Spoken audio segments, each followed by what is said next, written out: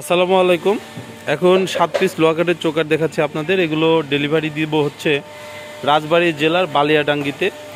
যে স্যার এগুলি চোকার সাত পিস আমাকে অর্ডার করেছিল, ওনার নাম হচ্ছে জনাব মঞ্জু সাহেব। তো মঞ্জু স্যার বেশ কিছুদিন আগে অর্ডার করেছিল, উনি আমাদের কাছে পাল্লাও অর্ডার করেছে। তো ফাইনালি চৌকাটগুলো আমরা আগে পাঠাচ্ছি, কারণ হচ্ছে চৌকাটগুলো আমরা আগে পাঠিয়ে দিই। চৌকাট যদি আগে পাঠাই তাহলে ওনারা চৌকাট লাগায় তারপরে প্লাস্টার করে, এরপরে টাইলস করে, তারপরে পাল্লা লাগায়। আর কি পাল্লা লাগাইতে আরও প্রায় এক দেড় মাস সময় লাগে। তো আপনারা এরকম যদি ছয়ারে একটা লোহা কাঠের চৌকাট নেন সেই ক্ষেত্রে চার হাজার আটশো টাকা হলে নিতে পারবেন। এগুলো আপনার থিকনেস আছে হচ্ছে, এখন যেটা আছে, এটা হচ্ছে পাঁচ ইঞ্চি ছয় সুতা বাই দুই ইঞ্চি দুই সুতা। অর্থাৎ পাঁচ পয়েন্ট পঁচাত্তর, দুই পয়েন্ট পঁচিশ। এটা হচ্ছে ছয় আড়াই কাঠ। আমরা ছয় আড়াই কাঠ কাটি, এরপরে রান্না এবং ফিনিশিংয়ে যতটুকু কমে, এই ওইটা কমার পরে থাকে হচ্ছে আপনার পনে ছয় সোয়া দুই, এটাকে ছয় আড়াই বলে। তো এটা যদি আপনারা নেন সেই ক্ষেত্রে চার হাজার আটশো টাকা হলে নিতে পারবেন। আর যদি আপনারা এগুলো যদি একবারে পাকা ছয়, পাকা আড়াই নেন, তাহলে আপনার হিসাব করতে হবে হচ্ছে সোয়া ছয়, পনে তিন।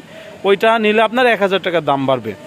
আর দেখেন যে এগুলো লোহা কাঠ নাইজেরিয়ান লোহা কাঠ, এগুলো কেমিক্যাল ট্রিটমেন্ট করা বা চেম্বারে সিজনিং করার কোনো প্রয়োজন নাই। এগুলো নর্মালি নষ্ট হয় না।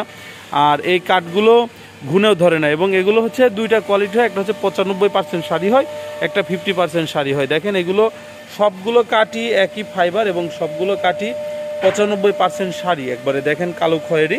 লাইটের জন্য একটু সাদা সাদা দেখা যাচ্ছে। এগুলো হচ্ছে কালো খয়েরি কালার হয় একবারে। তো এগুলো যদি আপনারা নেন সেই ক্ষেত্রে চার হাজার আটশো টাকা হলে নিতে পারবেন এবং অনেকে জয়েন্টগুলো দেখতে চান। দেখেন আমরা কিন্তু এইভাবে এখানে কোনা জয়েন করা হয় এবং এখানে আল করা থাকে।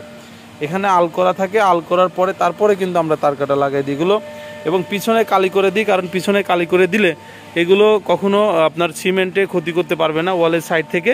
এবং আপনারা যারা এই অবস্থায় নেবেন। আমরা সামনের সাইডটা আস্ত দিয়ে দিলে ভালো হয়, স্প্রিট এবং চক পাউডার দিয়ে যদি এগুলো আস্ত দিয়ে দেওয়া যায়, সেই ক্ষেত্রে কিন্তু সবচেয়ে ভালো হয়। কিন্তু আস্ত দিলে কাঠের কোয়ালিটি কোনো কাস্টমার দেখতে পারে না। এই জন্য আমরা এগুলো আস্তর দিয়ে দিই না। আপনারা বাড়িতে নেওয়ার পরে স্পিরিট কিনে এবং চক পাউডার কিনে এগুলো আস্তর দিয়ে নেবেন।